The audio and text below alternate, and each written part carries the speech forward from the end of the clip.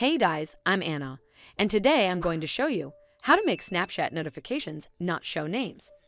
So first of all, you need to go to your device settings and scroll all the way down to Face ID and passcode, and then tap on it. Once you're on this screen, you need to make sure the passcode is turned on for your device.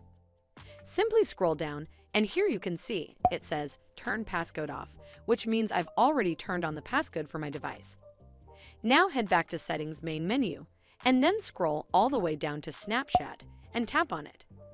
From here, tap on Notifications, and then tap on Show Previews.